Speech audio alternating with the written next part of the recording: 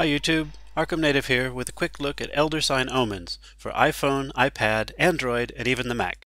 It's based on a dice game by board game maker Fantasy Flight Games and is set in the American 1920s Cthulhu mythos of horror author H.P. Lovecraft. It's not like other adventure or combat computer games.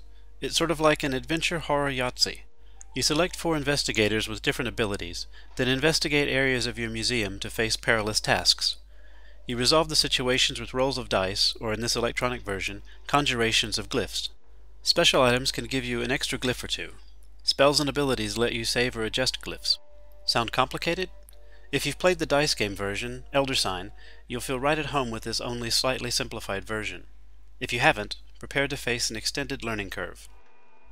Elder Sign Omens provides some help in four video tutorials, but they're very quick and you'll probably need to view them multiple times.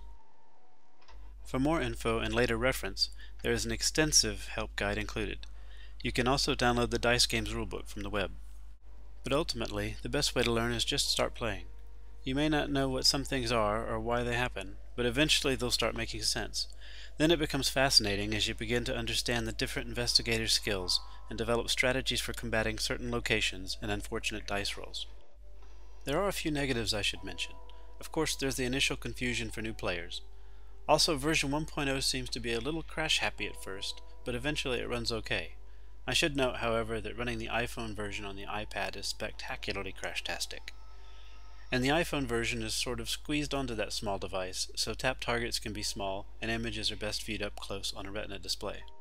But overall, I recommend Elder Sign Omens for those who want an interesting new gaming experience and a taste of the complexity of dice and board games.